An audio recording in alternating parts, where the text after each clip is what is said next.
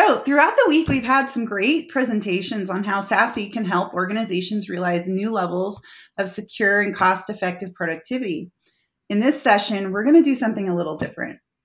We're seeking a completely different perspective.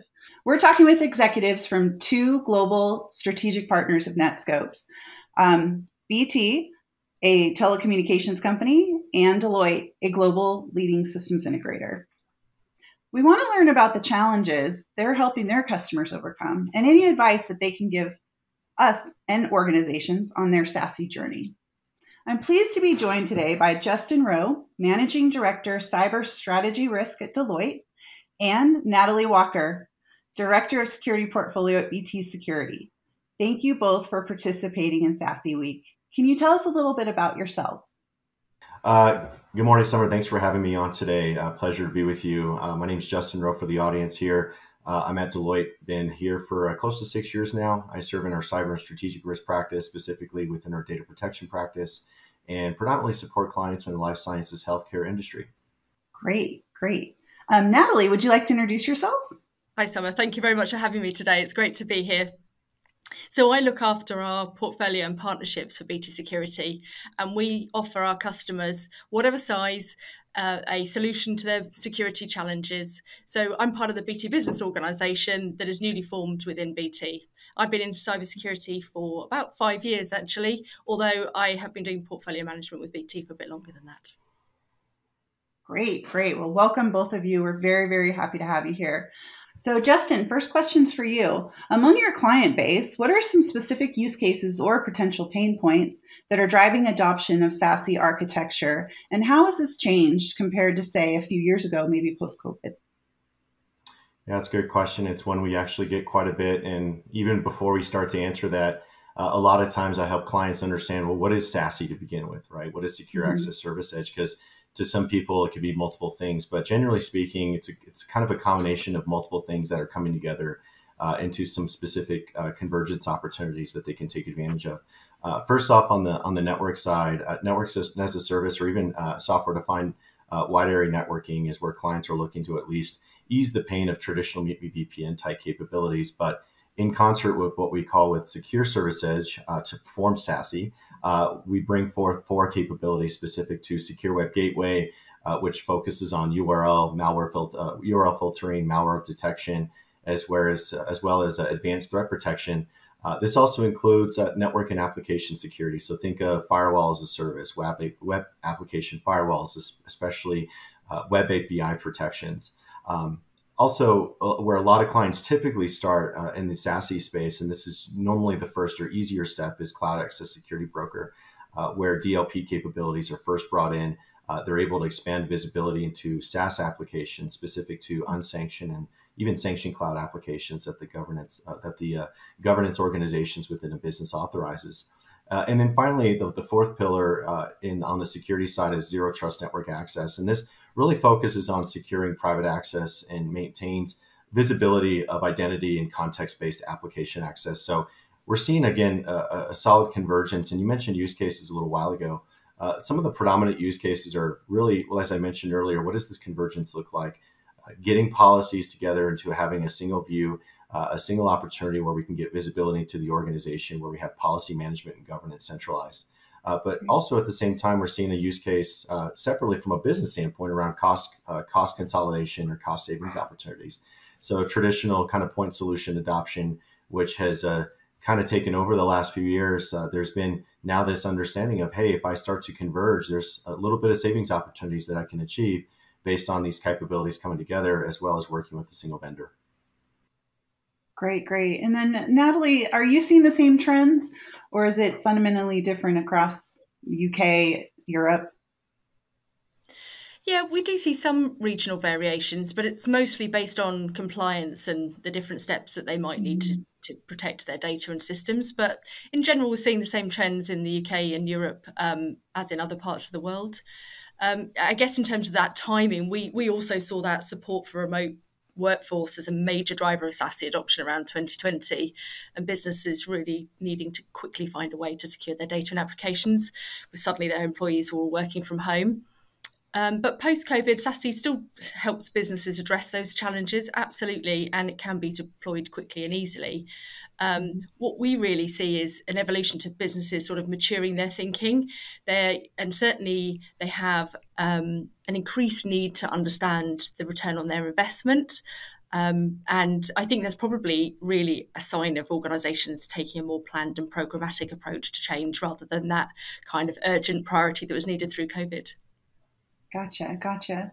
So, and we all know when a new uh, segment like SASE comes out, everybody's hyped about it.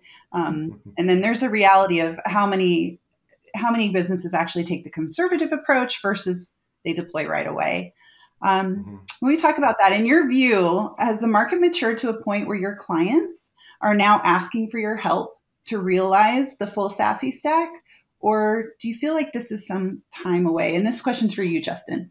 Uh, yeah, it's. It, I feel like it's a little bit some time away, but it's moving faster and faster. Um, mm-hmm. Pre-pandemic, uh, a little bit of our client, many of our clients that I work with in the life sciences healthcare sector were a little, little bit hesitant to even adopt cloud services, just because they mm-hmm. were still trying to under understand the risk parameters that they need to manage uh, in order to make sure that they are able to operate effectively and efficiently, but also maintain security uh, within their overall kind of threat, you know, threat and uh, attack surface landscape. And at the same time, too you know, there was still a lot of learning that was taking place on what are these capabilities to begin with, right? Uh, some organizations mm-hmm. were uh, responding to just, you know, bring forth uh, team members that maybe not have had the skill sets or the training in the past in order for them to start fully adopting these capabilities, much less realize the benefits from it. So uh, I would see, I would say right now there's still a little bit of time and there's a little bit of an opportunity for clients to really make sure they definitively kind of understand what their requirements are, right? It, moving to SASE is not something that happens overnight, of course, but driving what those requirements are going to be from the forefront to make sure they meet those requirements is something that is still going to need to have to happen.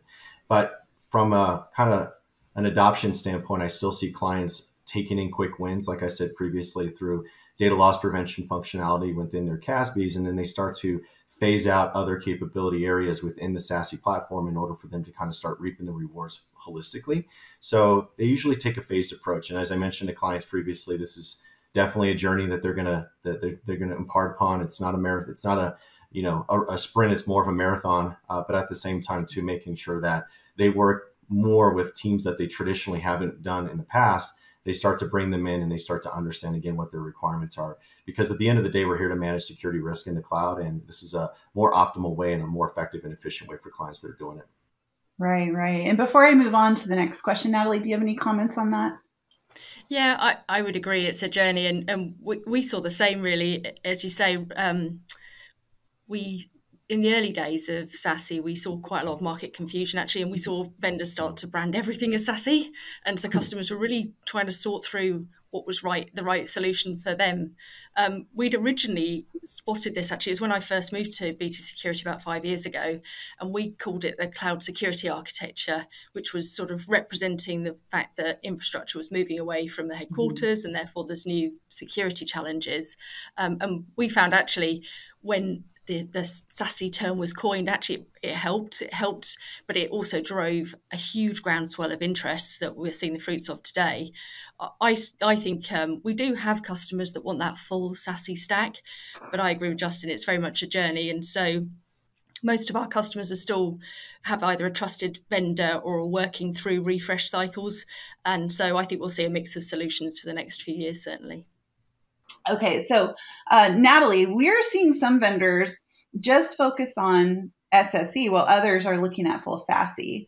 What do you think the future is for standalone SSE? Yeah, I think I think the answer is there's still there's still a place for both. Um, it mm-hmm. does depend on various factors. You've got kind of obviously market demand, technology trends, and, and always starting with the cybersecurity requirements. Um, we find at the minute the uh, secure service edge SSE solutions still remain valid and a sensible choice for some of our customers, and especially in the near future. It comes back to this sort of journey and evolution, really. But a lot of our customers, or most of the customers, don't have a greenfield site. They already have existing investments. They've got trusted partners and technologies, and they want to add to those rather than just literally throw it out and start again. So, absolutely, a standalone SSE solution can still provide deeper flexibility and address specific challenges for them. Um, so really, then those customers are not ready for that immediate shift, but we have we've we've certainly done testing for both SSE and SD WAN and how they work together. So it we can help advise customers on the roadmap that best meets their need. So I think ultimately things are moving fast. You need to be pragmatic, and and that perfect solution doesn't really exist. So set on a journey, start to fix those things that you can do that have got a return on the investment, and solve what you can today. Because in three years or so, it will have moved on again that's practical advice for anyone, right? so I'd like to thank both of you, Natalie, Justin, for joining us for SASE Week. And your advice has been great and valuable to all of us. So we appreciate your time. Thank you so much.